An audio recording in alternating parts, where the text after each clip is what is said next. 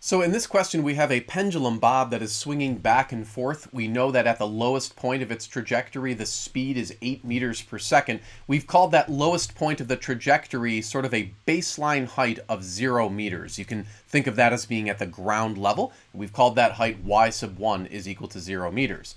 Now, as the pendulum swings back and forth, it's going to rise to a height that is above that 0 meter line. We need to find a useful expression for that height. So in other words, we want to come up with an expression for this height right here. We're going to call this y sub 2. And to do that, we note that the length of the string is 4 meters. So that means that this length right here is 4 meters. That is the length of the string. And then in addition to that, this length here is also 4 meters. We're going to try to label that very carefully here. So from the tippy top down to the ground level there is indeed 4 meters. Now, it will be useful for us to also come up with an expression for this distance here. And we can just arbitrarily call that W for now. Just choose your favorite letter. We want to find an expression for that W. And to do that, we look at this right triangle that we have drawn very carefully in the picture. And we can see from that right triangle, and let's scoot down the page here a little bit, that the cosine of the angle is equal to, now, Cosine is adjacent over hypotenuse, and the side that is adjacent to theta is the w, and then the hypotenuse of that right triangle is 4 meters. If we multiply both sides of that by 4 meters, we can see that w is equal to 4 cosine of theta. So, why is that useful? Well, look back at the picture.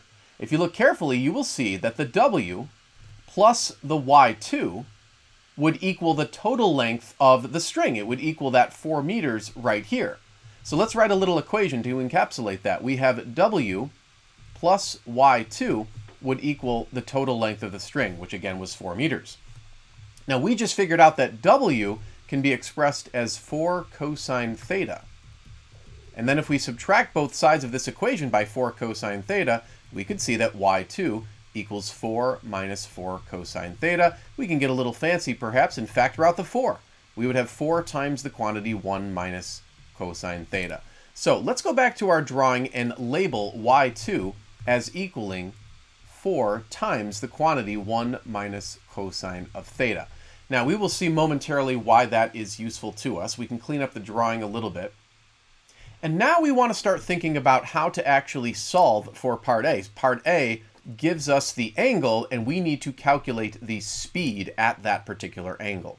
So how do we do this? Well, we know that because there's no friction, we can say there's no air resistance, kind of an idealized situation, that the conservation of mechanical energy would apply here.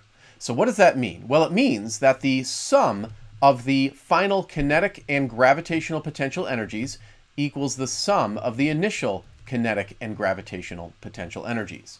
Now we can expand each of these expressions. So for the final values, we would have the following. And all we have done there have is have expanded the kinetic energy and the gravitational potential energy to their respective expressions. We've included subscripts of 2 to indicate the final values. We'll do the same thing on the right-hand side.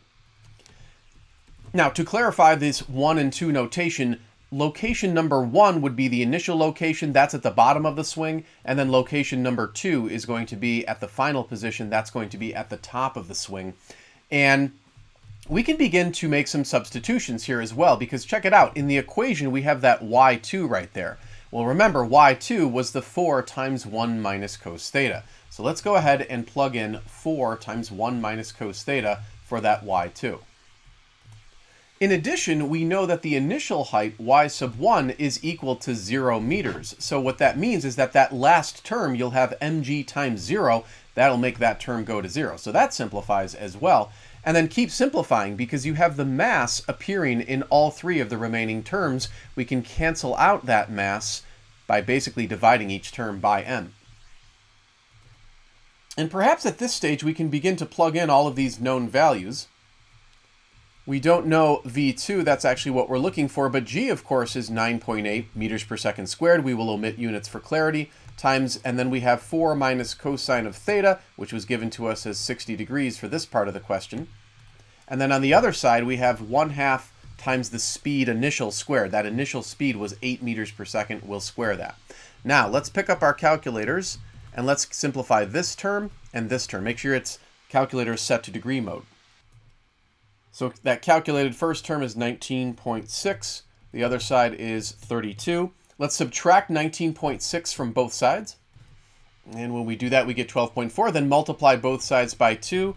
You'll get 24.8 on that side. And then finally, take the square root of both sides.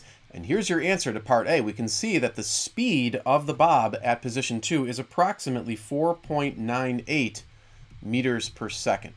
So that's the correct answer for part A. Let's go up and look at what part B wanted. It said, what is the greatest angle with the vertical that the string will reach during the stone's motion? So we know that eventually this bob is going to swing high enough so that it momentarily comes to rest. You can kind of close your eyes and imagine something swinging back and forth. Every time it reaches its maximum height, it's going to stop for a moment. So what this would mean is that the speed at position 2 is now going to be 0 meters per second. And that is going to be how we solve part B. So to continue solving for that, let's go back and look at our conservation of energy equation. So this one right here. Now, as noted in this part of the question, that final speed v sub 2 will be 0. So that's going to knock out this term right here. And then recall that initially the height of the bob was 0. And so that knocks out this term once again right here. And then we know that the y sub 2 was that 4 times 1 minus cosine of theta. So let's plug that in. The mass still appears in all terms in the remaining equation, so we divide that out. We can start plugging in perhaps. We know g. We do not know this angle, so that's what we're solving for in this part of the problem. On the other side, we have that initial speed of 8, and then we'll square that. So on the right-hand side, we have 32.